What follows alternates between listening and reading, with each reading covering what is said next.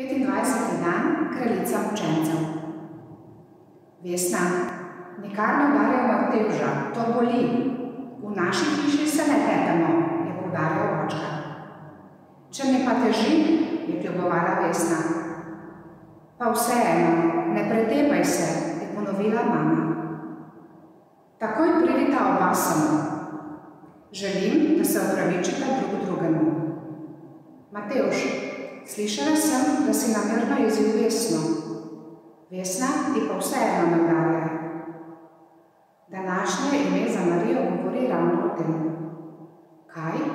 A je Marija danes kraljica vseh, ki se pretepajo?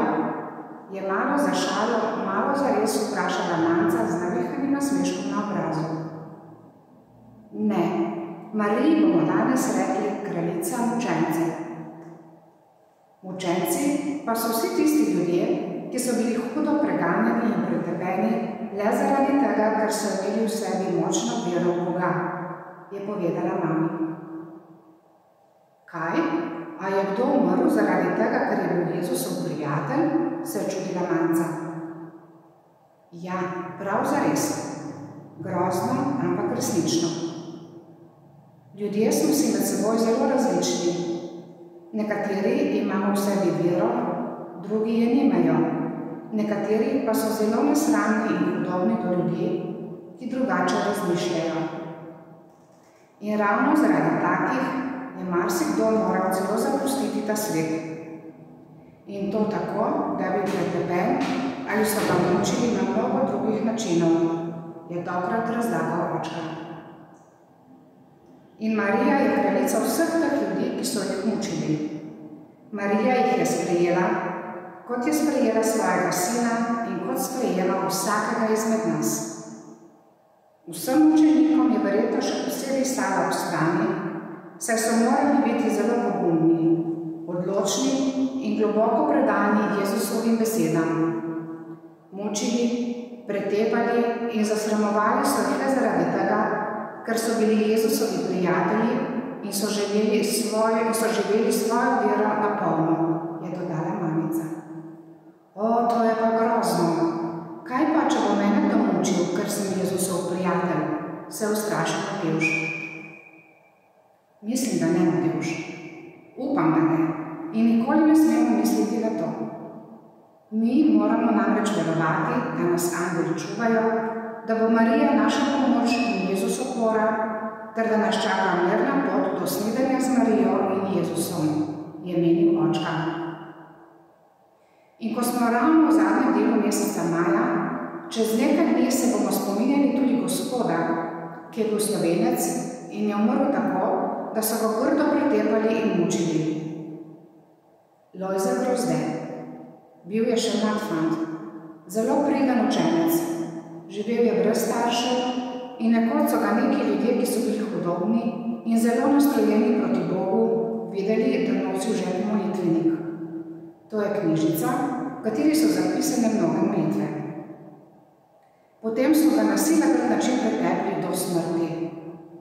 Zdaj je zagotovo v nebesih ob Mariji, ki ga tolaži in se mu neskončno zahvaljuje, saj je mnogo, mnogo hudega trpel zaradi tega, ker je jasno in glasno dal vedeti, da mu vera v Boga veliko pomeni. Bil je pogumen, bil je pošten, bil je predan Bogu, je dodala mama.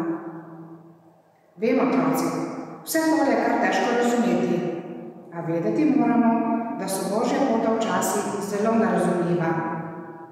Včasih res ne vemo, zakaj je kakšna stvar, ki se zgodi dobra. In se obračamo na Marijo, naj vendar pomaga in ne dopusti kakšnih reči. A vedite, Bog, ki nas je ustvaril, nam je dal svojo voljo. Prav vsakemu izmed nas. Zato je zelo pomembno, kakšne odločitve v življenju sprejemamo.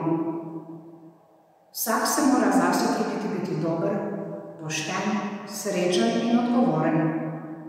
To je pot do česa, je želel s vprašanjem skleniti očka.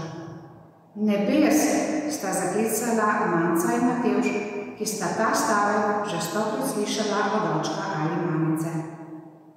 Naloga danes pri večerni molitvi zmolijo oče naš, da bi znal v življenju biti pogumen, kot so bili pogumni vsi učenci, da nikdar ne bi pozabili na Jezusa in da bi bil vedno njegov dobri in pravi prijatelj. Gospod usmili se. Gospod usmili se. Kristus usmili se. Kristus usmili se. Gospod usmili se. Gospod usmili se. Kristus sliši nas. Kristus usliši nas. Kristus usliši nas. Bog Oče nebeški, Usmili se nas. Bog Sin odrešenik sveta, Usmili se nas. Bog Sveti Duh, Usmili se nas. Sveta Trojica in sam Bog, Usmili se nas. Sveta Marija, Prosi za nas. Sveti Mati, Sveta Mati Božja, Prosi za nas. Sveta Devic Devica, Prosi za nas. Mati Kristusova. Mati Cerkve. Mati milosti Božje. Mati prečista. Mati brezmadežna. Mati nedolžna. Mati deviška. Mati ljubezniva. Mati čudovita. Mati dobrega sveta, Prosi za nas. Mati stvarnikova. Mati odrešenikova. Devica najmodrejša. Devica častitljiva. Devica hvale vredna. Devica mogočna. Devica milostljiva. Devica virna, podoba pravice, Prosi za nas. Sedež modrosti, Prosi za nas. začetek našega veselja, Prosi za nas. posoda duhovna, Prosi za nas. posoda časti vredna, Prosi za nas. posoda vse svetosti, Prosi za nas. roža skrivnostna, Prosi za nas. stolp Davidov, Prosi za nas. stolp slonokoščeni, Prosi za nas. hiša zlata, Prosi za nas. skrinja zaveze, Prosi za nas. vrata nebeška, Prosi za nas. zgodnja danica, Prosi za nas. zdravje bolnikov, Prosi za nas. pribežališče grešnikov, Prosi za nas. tolažnica žalostnih, Prosi za nas. pomoč kristjanov, Prosi za nas. kraljica angelov, Prosi za nas. kraljica očakov, Prosi za nas. Kraljica prerokov, Prosi za nas. kraljica apostolov, Prosi za nas. kraljica močencev, Prosi za nas. kraljica pričevalcev, Prosi za nas. kraljica devic, Prosi za nas.